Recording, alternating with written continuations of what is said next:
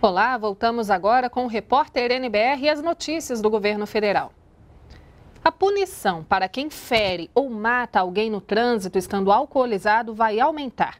Daqui a quatro meses, motoristas responsabilizados criminalmente poderão ficar até oito anos presos.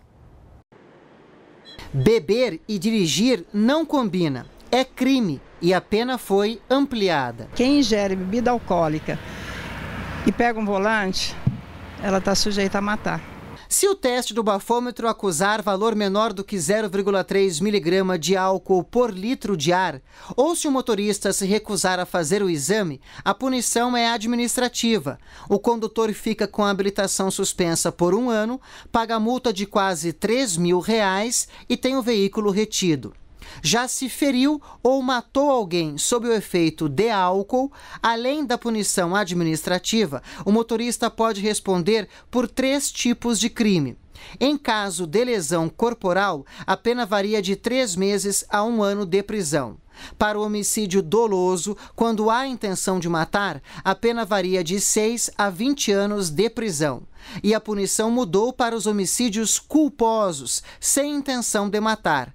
Antes, a penalidade variava de 2 a 4 anos de prisão. A punição passa a variar de 5 a 8 anos de prisão.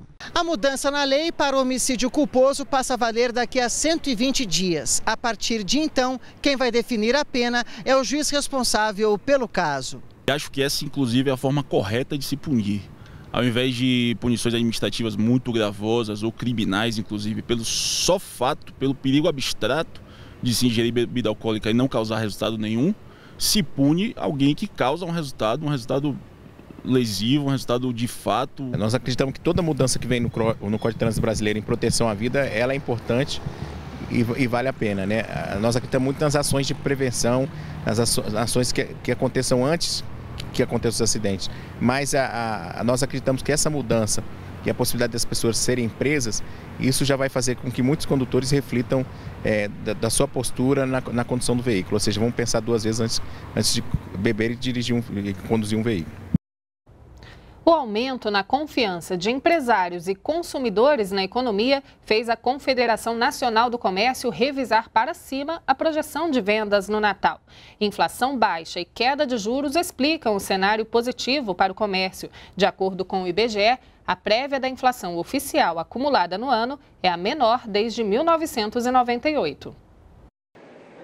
A decoração natalina é um verdadeiro convite às compras. Eu amo Natal, acho que a decoração, essa iluminação toda eh, remete a algo muito bom, né? Então eu gosto muito e, lógico, convida a gente a comprar mais. Há poucos dias do Natal, os corredores desse shopping em Brasília estão movimentados.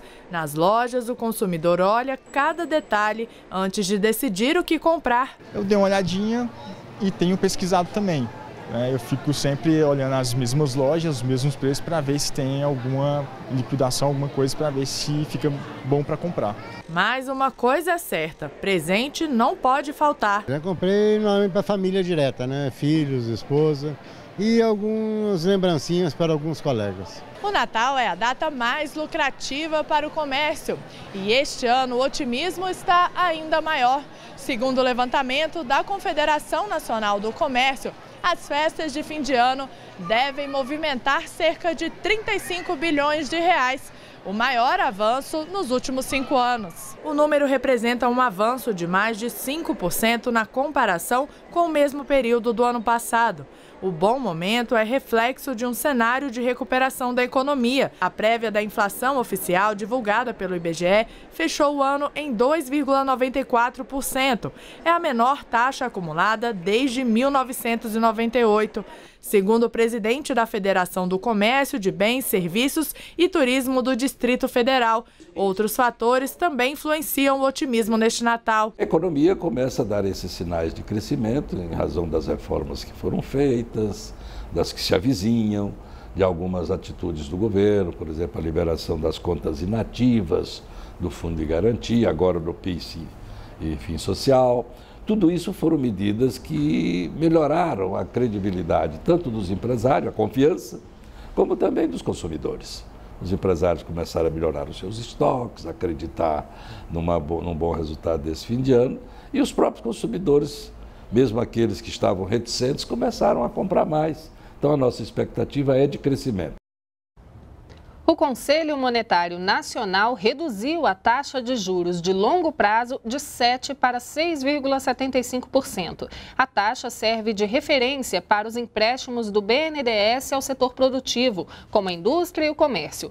A TJLP servirá como base para os financiamentos feitos até o fim deste ano. A partir de 2018, os novos contratos terão como base a taxa de longo prazo. A nova taxa corrige distorções e aumenta, por exemplo, a remuneração remuneração dos recursos do Fundo de Amparo ao Trabalhador. O presidente Michel Temer sancionou nesta quinta-feira o projeto de lei que libera o repasse pela União de 1 bilhão e 900 milhões de reais para os estados, estados, perdão, Distrito Federal e municípios referentes a, a compensações da Lei Candir.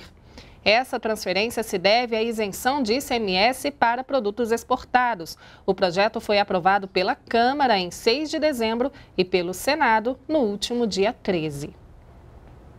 Bom, nós ficamos por aqui. Você pode rever as reportagens no YouTube. Voltamos às três da tarde na próxima edição do Repórter NBR. Uma boa tarde para você e continue na NBR, a TV do Governo Federal.